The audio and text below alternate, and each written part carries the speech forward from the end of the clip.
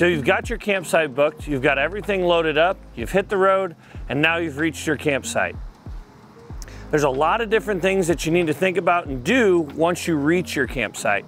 Uh, we're gonna give you some helpful tips and tricks today to help you have a first successful trip at the campsite. So let's get to it so you can get to enjoying your weekend. So when you're pulling into a new campsite, you wanna be sure to try to get there before dark. This is for one of three reasons. The first reason is so that you can check into the campsite in the office and get all the rules and regulations of the campgrounds itself. The other reason is you want to be courteous to your neighbors at the campground so that you're not setting your whole rig up at night while they're trying to hang out with their friends and family. And the third reason being that it's going to be really difficult to set your rig up at night when you can't see very well and you have to level your whole camper. Next thing you're going to do is set up your camper. What most people will do is they will Start by leveling their camper. Then open up your slides. Then connect your water, electric, and sewer. Then you'll want to turn on your propane and test out all your propane appliances and then relax. Now, one change that I make is that I typically will connect my power before opening the slides so that I'm using the shore power to open them instead of my battery. Now some campsite etiquette that you need to practice is that you need to respect quiet hours, clean up after yourself, practice good dump station etiquette too.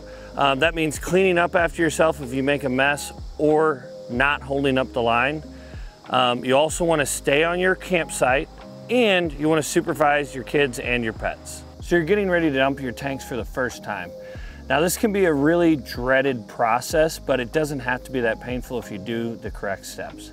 Um, the first thing you want to keep in mind is you never want to use a freshwater hose to rinse out your black tank or your sewer hoses themselves um, because you risk contaminating the hose itself so you will have contaminated water inside your camper.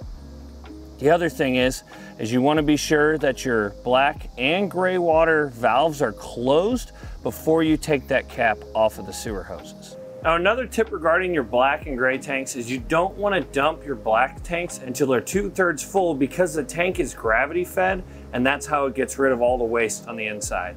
Um, the other thing that you want to keep in mind when thinking about that is that you don't want the tank to be empty when you go to the bathroom in the uh, in the bathroom for the first time because the stuff is going to start to pile up inside your black tank. Now when the weekend's over and you're ready to pack up your campsite, along with packing up your chairs, your rugs, and any other campsite accessories that you might have, you don't want to forget to put your awning properly back in for safe road travel. You want to put your slides back in and you want to clean up all the sewer, water, and electric um, accessories that you have on the other side.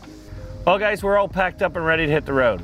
Hopefully some of these helpful tips were able to help you on your first time at a campground. If you have any questions or comments, please see the comments below, and we'll see you next time.